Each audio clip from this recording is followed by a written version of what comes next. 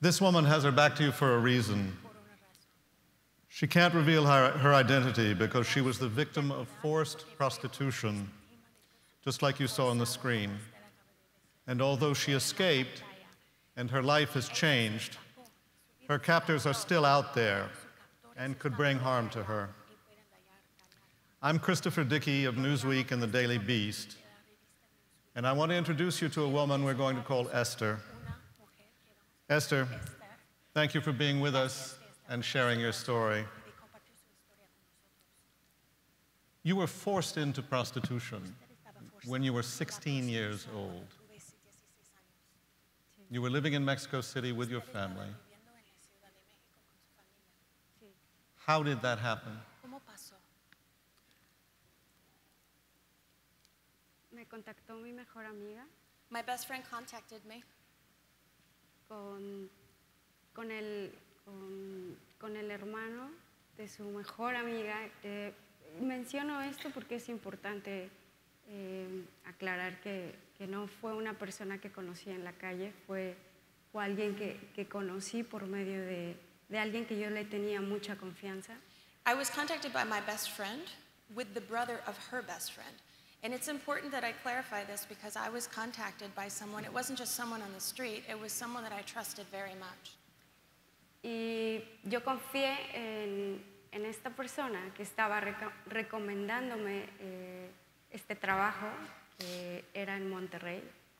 And so I trusted this person who was recommending me to this work, for this work in Monterrey. Y se me hizo muy atractivo la oferta de trabajo porque eran 700 pesos por día And this, this work, this offer to work there was really attractive to me because it was 700 pesos a day. y era una temporada muy difícil para mí y para mi familia económicamente. And it was a really difficult time for me and for my family economically. Y estaba, estaba cursando eh, la, la preparatoria. And I was going through preparatory school. Cuando But you had no idea that what you were being asked to do was to become a prostitute. no tenía ni idea que lo que iba a hacer fue la prostitución. no, No. And when you went to Monterrey, Y cuando fue a Monterrey, and when they started to tell you that instead of giving you money, cuando comenzaron a decir you owed them money, darte dinero, que tú daras dinero a ellos, sí. and that to pay them the money you would have to be a prostitute, este dinero tenía que ser prostituta, how did you react? ¿Cómo tú reaccionaste? Mm, estaba obligada a, tener que pagar una cuenta de- del boleto de avión, de todo lo que ellos me habían dicho que yo iba a pagarlo. Entonces, para mí fue terrible, me sentí atrapada, me sentí engañada y secuestrada. No, no era algo que, que yo hubiese deseado cuando era, cuando era niña, ser prostituta, no quería ser niña. I was obligated to pay them this cost that they had told me that I owed them for the airline ticket and for everything. And it was totally terrible. I felt trapped. I felt kidnapped. This is nothing that I ever could have expected. As a child, you don't even hear about things like this. What, what is prostitution? And you were you went to many different cities. In Mexico. a varias ciudades en México. Sí. Yes. I mean, we're talking about something we're calling prostitution, Estamos hablando de algo que estamos llamando prostitución. but really it's more like slavery, isn't Pero, it? mm, pero de, de- de hecho es más como esclavaje, ¿no es verdad? Sí. Yes. Because they, you were sold at one point to drug cartels, Porque eh, tú estabas vendida a una, a un- en una vez a los carteles de drogas, ¿no es verdad? Sí, Yes. and how long did this go on? ¿Y por cuánto tiempo duró todo eso? cinco años. Five years. And how did you get out of that life? ¿Y cómo tú te, tú te escapaste de esta vida?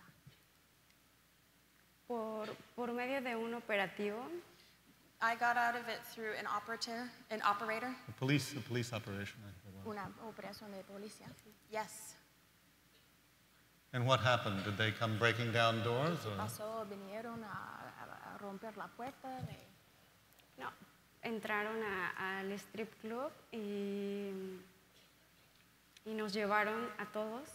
They came into the strip club ahí. and they took us and they took us all in. Y nos llevaron a- al Ministerio Público y, y tenía que ir un familiar por mí porque era necesario. And Entonces, they took us to a public ministry, and I had to have my family around me because that was necessary. Tell us about that. Díganme ustedes eso. Eh, fue mi, hermana y mi cuñado por mí y en el momento que, que van a, a recogerme del Ministerio Público, eh, para mí fue vergonzoso porque estaba vestida de una manera que era inapropiada para, para mi familia. Fue humillante. It was my sister. It was my sister and my sister-in-law who came to pick me up at the public ministry. It was so shameful for me because I was dressed in a way that was so inappropriate for my family. How did the police treat you? ¿Y cómo te trataron la policía?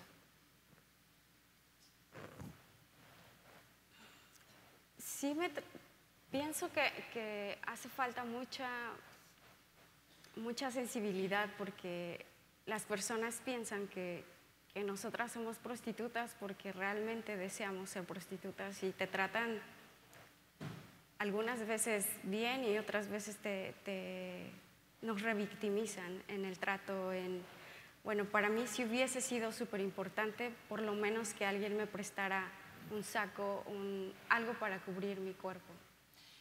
Um, I think that there's, I think that there are some, there are discrepancies in the way they treat you. The thing is, is I think that they think that when someone's a prostitute, it's because someone really wants to be a prostitute. And sometimes we were treated well, and sometimes we're not treated well. But for me, what I really would have wanted was the smallest little thing was for someone to lend me a bag or something to throw over myself to cover my body. Who were the people who had captured you? Were they Mexicans? Were they Americans? North Americans? ¿Quiénes eran las personas que te captaron? ¿Fueran, fueran mexicanos, americanos, otra gente? Eran mexicanos. They were Mexican. But part of the business is in the United States, isn't it? empresa se encuentra en los Estados Unidos, ¿no es verdad? Sí. Yes. And are all the girls from Mexico? las mujeres son de México? No, No. había eslovacas, checas, No, there were Slovakians, Czech girls, cubanas, Cubans, mexicanas, Mexicans, norteamericanas Americans, y latinoamericanas. and Latin Americans. It's a big business. Es una gran empresa. Es un gran corporativo que aún sigue funcionando. It's a, it's a big corporative that is working. Have you ever thought about going back into prostitution? ¿Has pensado en regresar en la prostitución? Nunca. No. And how were you saved over the long run? ¿Y cómo te salvaron? Mm, ¿Cómo tú has estado salvada? ok. Yo vivo en una fundación I live in a foundation. Y, y yo fui realmente rescatada desde que conocí a, a- a la diputada Rosy Orozco. A la diputada. Sí. Rosa I- Orozco. I was, I was rescued um, by the deputy, Rosie. Eh, yo, yo me acerqué a ella y, y- y le solicité apoyo I went up to her and I asked her for help. y ella se, se comportó de una manera realmente muy humana, And she behaved in a way that was just so human. no me juzgó, She didn't judge me. no me revictimizó, She didn't re victimize me. me trató con amor She treated me with love. y, y ella conocía una fundación y fue así como, como empecé a tener esta etapa de, de reestructurar mi, mi vida. And she knew about a foundation, and that's how I started to get on top of restructuring my life.